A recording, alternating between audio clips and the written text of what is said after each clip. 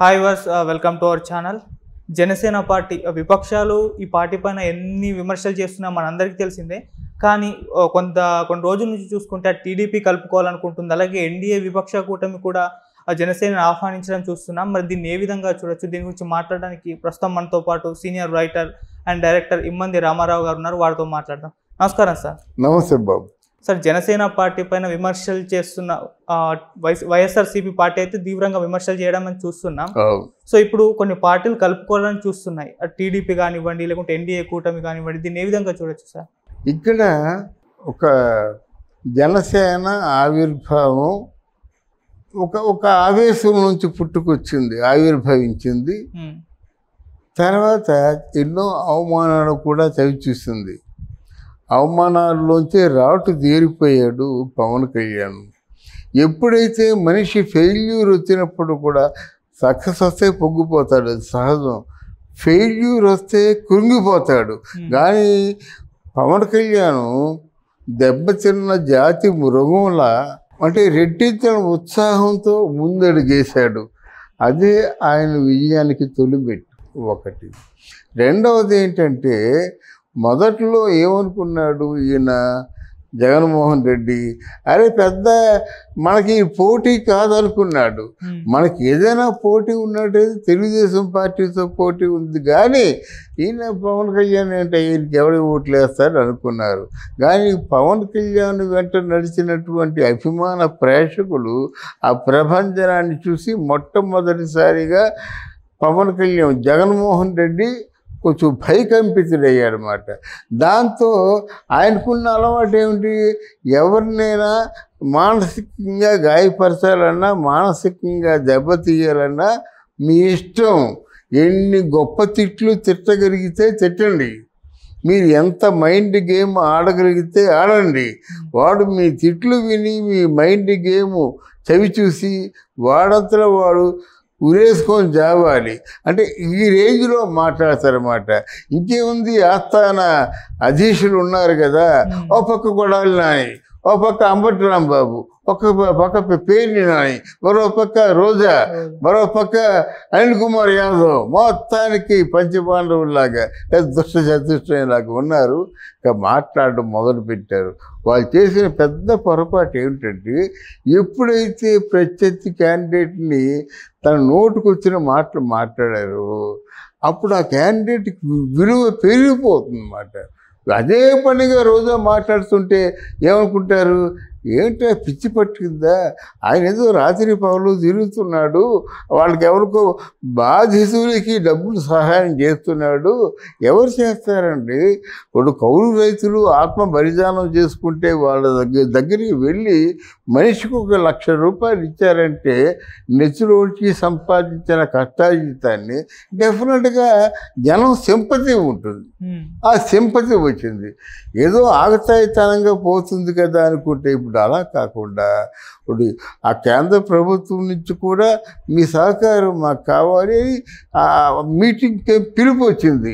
వేరే చంద్రబాబు నాయుడికి పిలుపు రాలేదు. వేరే వైసీపీ పార్టీకి పిలుపు రాలేదు కానీ జనసేనకి పిలుపు వచ్చింది.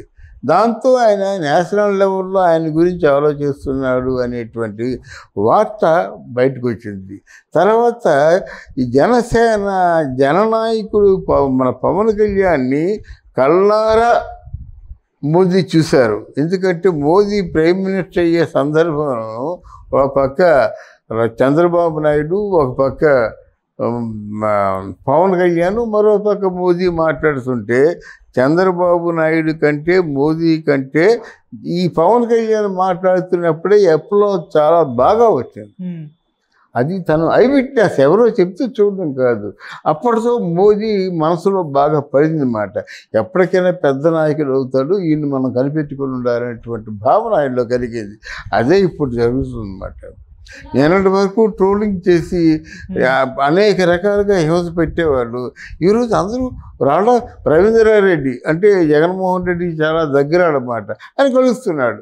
కాంగ్రెస్ పార్టీలో గతంలో ఉన్నవాళ్ళు కలుస్తున్నారు. తెలుగుదేశం పార్టీలో గతంలో ఉన్నవారు ముఖ్యమైన నాయకులు సీనియర్ నాయకులు కలుస్తున్నారు. వైఎస్ఆర్ కాంగ్రెస్ పార్టీ నుంచి ఉన్నటువంటి నాయకులు కొంతమంది తెలుగుదేశం పార్టీలోకి వెళ్తున్నారు కొంతమంది జనసేనలోకి వస్తున్నారు. సో భయకంపితులైపోతున్నారు రేపు వచ్చే రాబోయే ఎన్నికలను ఎవరు అంచనా వేయలేకపోతున్నారు.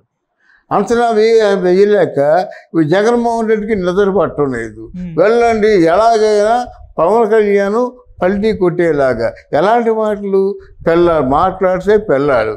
ఆయన చేసుకున్న పెళ్ళిళ్ళు మూడై నడిస్తే జగన్మోహన్ రెడ్డి నాలుగు చేశాడు. పెళ్ళాల గురించి మాట్లాడాడు అంటాడు.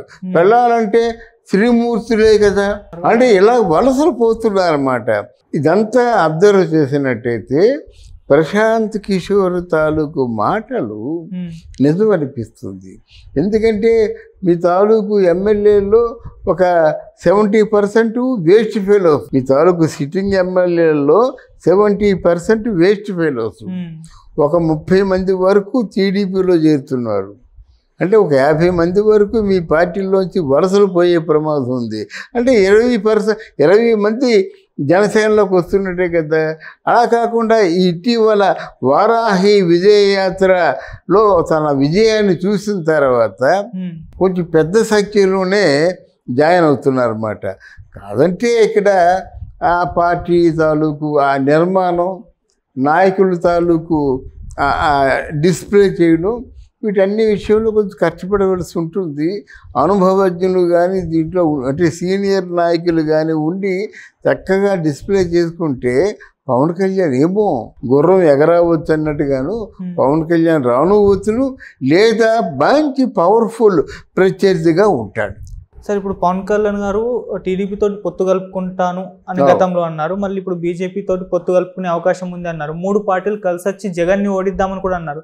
కాకపోతే బీజేపీ టీడీపీ తోటి పొత్తు కలపడానికి అయితే సిద్ధంగా లేదు. మరి ఏ పార్టీలు పొత్తు కలిపే అవకాశం? బట్ ఏది ఏమైనప్పుడు కూడా పవన్ కళ్యాణ్ బీజేపీకి అనుకూలంగానే ఉంటాడు. ఆయన ఫ్యూచర్ అంతా నరేంద్ర మోదీతోనే ఉంటుంది. ఎందుకంటే మన మన మన మనల్ని ఎవరు ప్రేమిస్తున్నారు వాళ్ళతో కలిసి ఉండడం మంచిది కదా. అందువల్ల పవన్ కళ్యాణ్ డెఫినెట్గా అక్కడ బీజేపీని కాకుండా మోదీ ఏం చెప్తే చేసి ప్రయత్నంలో ఉంటాడన్నమాట ఈయన. కాదంటే టీడీపీ అదే పెద్ద రాజకీయంలో ఉన్నటువంటి మంచి రసవత్తరం మంచి రముదులోకి వచ్చింది రాజకీయం అనడానికి కారణం ఏంటంటే బీజేపీ టీడీపీతో కలుస్తుందా? లేదా బీజేపీ జనసేన కలిసి అక్కడ మన జగన్మోహన్ రెడ్డిని ఓటించేటువంటి సత్తా ఉందా ఇవన్నీ బేరీజ్ వేసుకుంటారు. ఏదైనా ఏది వేసుకున్నా సరే జగన్మోహన్ రెడ్డి మీద తీవ్రమైన వ్యతిరేకత వచ్చింది కనుక. మనం ఎక్స్పెక్ట్ చేయలేము జగన్మోహన్ రెడ్డి తప్పనిసరిగా వస్తారని ఎక్స్పెక్ట్ చేయలేము కాదంటే వాళ్ళకు ఒక దౌర్జన్యం అహంకారం నిరంకుశత్వం ఉంది. ఎవరు ప్రశ్నిస్తే వాళ్ళు గొంతు నెక్కేస్తున్నారు. ఉమ్. ఎవరు ప్ర- ఎవరు నిలదీస్తే వాళ్ళు కనుసు మేరలో లేకుండా మాయం చేసేస్తున్నారు. కనుక ఇది ఇట్లాంటి నిర నియంతృత్వం నిరంకుశత్వం ఎక్కువ కాలం మనదు. అది పోతుంది. చరిత్రలో కాలగల్పంలో కలిసిపోతుంది. కనుక నిన్న ట్రోల్ చేసినటువంటి ఈ పవన్ కళ్యాణ్ నిన్న రోజా లాంటి వాళ్ళు కూడా ఆడవాళ్ళ చేత కొట్టిస్తానని వార్నింగ్లు ఇచ్చిన పవన్ కళ్యాణ్ ఈరోజు ఒక్కొక్కరికి కూడా ఎవరికి తగ్గట్టు వారికి సంజాయిషి చెప్పుకునేలాగా ఛాలెంజ్ విసురుతున్నాడు. అప్పుడే పవన్ కళ్యాణ్ని ఆడవాళ్ళతో కొట్టిస్తానన్న రోజు ఏడుస్తుంది. ట్రోల్ చేశారు మా కూతురు చూసింది చాలా బాధపడుతుంది ఏడుస్తుందంటే ఈరోజు నువ్వు నీ కూతురు ఎలా ఏడుస్తున్నారో నిన్న ఎవరైనా ఎవరి మీద నువ్వు ట్రోల్ చేసావో వాళ్ళు వాళ్ళ బిడ్డలు కూడా ఏడుస్తారు కదా. అరే నీకు వస్తే ఒకటిని మిగతా వాళ్ళకి వస్తే ఒకటినా నువ్వేమో ఒక నాలుగు సార్లు దుఃఖపడ్డావా ఆయన ఒకసారి ఇలా గేడ్చి విరపించుకున్నాడా ఆయనకి గుండె గాయమైంది నీకు గుండె గాయమైంది. ఈ గాయాలు ఆ సాంద్రతను బట్టి తొందరగా మరిచిపోతారా జీవితాంతం గుర్తుంచుకుంటారా? అన్నది మనం వేచి చూడాలి. కర్మ సిద్ధాంతం వర్తించిందంట రోజాకి. ఇదమ్మా గతంలో రోజా పైన ట్రోల్స్ వచ్చాయి. ఇప్పుడు ఆమె వీళ్ళ మీద చేస్తుంది. పవన్ కళ్యాణ్ మీద. కర్మ సిద్ధాంతం అంటారు అంటే రోజా అనాలోచితంగా మాట్లాడుతుందండి. పవన్ కళ్యాణ్ ఆవేశంతో మాట్లాడినా ఆలోచించి మాట్లాడతాడండి. కనుక రోజా ఒక వేస్ట్ కార్డుగా మిగిలిపోద్ది అనమాట నెక్స్ట్ వైసీపీలో రోజాకి సీట్ వస్తుందా అంటే అనుమానమే. ఎందుకంటే రోజాకి సీట్ ఇచ్చినట్టయితే చిత్తూరులో చిత్తూరు అంతా పిడికెట్లో పెట్టుకున్నటువంటి పెద్దిరెడ్డి క్షమించడు. ఏమయ్యా? పార్టీకి ఆవిడ ఏం చేసిందని చెప్పేసి నువ్వు ఆవిడకి సీట్ ఇస్తావు? నువ్వు సీట్ ఇస్తే నేను ఓడిపడతా నేను చెప్పిన వాడికి సారీ నేను చెప్పిన వాళ్ళకి ఇవ్వు. అని గట్టిగా మందలించేటువంటి వ్యక్తి ఆయన ప్రెసిడెంట్ పెద్దిరెడ్డి సామాన్యమైన నాయకుడు కాదు. నెల్లూరు పోయింది జగన్మోహన్ రెడ్డికి. నెల్లూరులో ముఖ్యమైన ఆనం రా రామనారాయణ ఆనం వెంకటరెడ్డి కోటమిరెడ్డి శ్రీధర్ రెడ్డి వీళ్ళందరూ యాంటీ అయిపోయారు కదా.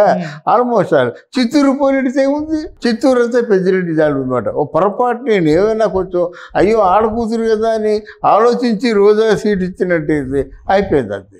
అలా అన్నమాట సార్ ఇప్పుడు పవన్ కళ్యాణ్ గారు సీఎం కావాలి అంటే ఖచ్చితంగా టీడీపీ తోటి అయితే పొత్తు కలుపుకోవాల్సిన అవసరం లేదు. ఎందుకంటే అక్కడ చంద్రబాబు నాయుడు ఉన్నారు. అవును. అందుకే బీజేపీ వైపు చూస్తున్నారా?